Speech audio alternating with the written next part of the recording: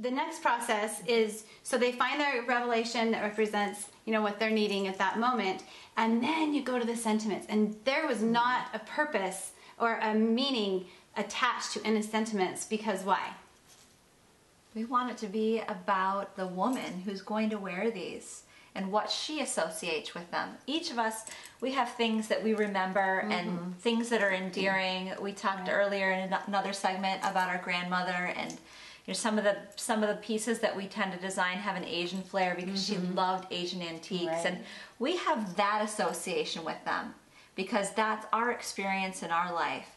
But these women are going to have different things that the dragonfly means to them or that the nesting mm-hmm. bird means to them. Mm-hmm. Maybe they're gathering in their children and they're starting a family, or maybe they're mm-hmm. empty nesters and they're trying to, to hold on to that little piece of, of their children or those memories.